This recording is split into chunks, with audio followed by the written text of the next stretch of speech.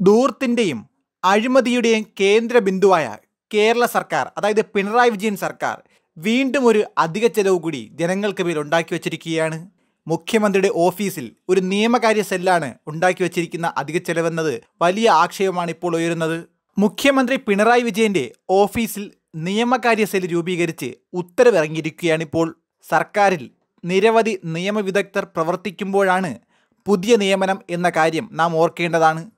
ഹൈക്കോടതിയിലെ special government pleader M രാജേഷിനെയാണ് സെല്ലിന്റെ അധിക ചുമതല കൊടുത്തിരിക്കുന്നത്. യാത്രാബത്തയും ഓണറേറിയവും പിന്നീട് തീരുമാനിക്കുമെന്നാണ് നമുക്കറിയാൻ കഴിയുന്ന വിവരം.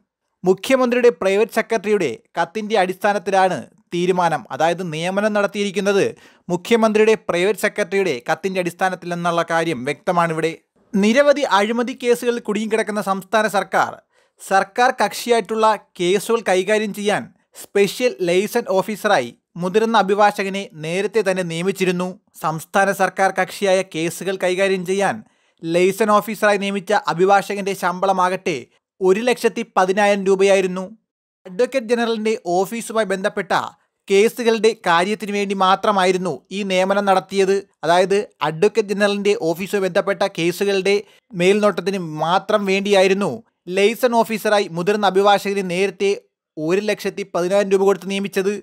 ഇതുകൂടാതെ നിയമകാര്യങ്ങളിൽ ഉപദേശം നൽകാൻ എൻ കെ ജയകുമാറിനെ മുഖ്യമന്ത്രിയുടെ ഓഫീസിൽ നിയമിച്ചിട്ടുമുണ്ട്.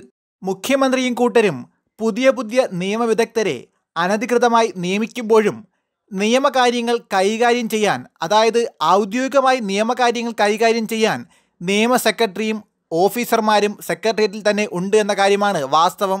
നിയമകാര്യങ്ങളിൽ ഉപദേശം നൽകാൻ ചീഫ് സെക്രട്ടറിയും നിയമകാര്യ സെല്ലിന് രൂപം നൽകിയിട്ടുണ്ട്. വിജിലൻസിൽ പ്രവർത്തിച്ചിരുന്ന അഭിഭാഷകനെയാണ് സെല്ലിൽ നിയമിച്ചിരിക്കുന്നത്. ഇതിനെല്ലാം പുറമെയുള്ള പുതിയ നിയമനം അധിക ചെലവാണെന്നാണ് സർക്കാർ വൃത്തങ്ങൾ തന്നെ ഉയരുന്ന ഏറ്റവും വലിയ ആക്ഷേപം. സംസ്ഥാന സർക്കാരിന് കീഴിൽ നിരവധി നിയമവിദഗ്ധർ പ്രവർത്തിക്കുമ്പോഴാണ് പുതിയ നിയമനമെന്ന കാര്യം വിചിത്രമാണ്.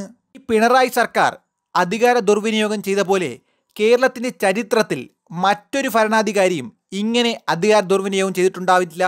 ജനങ്ങൾ ജീവിക്കാനായി നെട്ടോട്ടമോടുമ്പോൾ സ്വന്തം അഴിമതി മൂടിവയ്ക്കാൻ വേണ്ടി പൊതുജനത്തിന്റെ പണം ദൂർത്തടിക്കുന്ന ഒരു മുഖ്യമന്ത്രിയും മന്ത്രിസഭയും. News desk Tatwamayi news.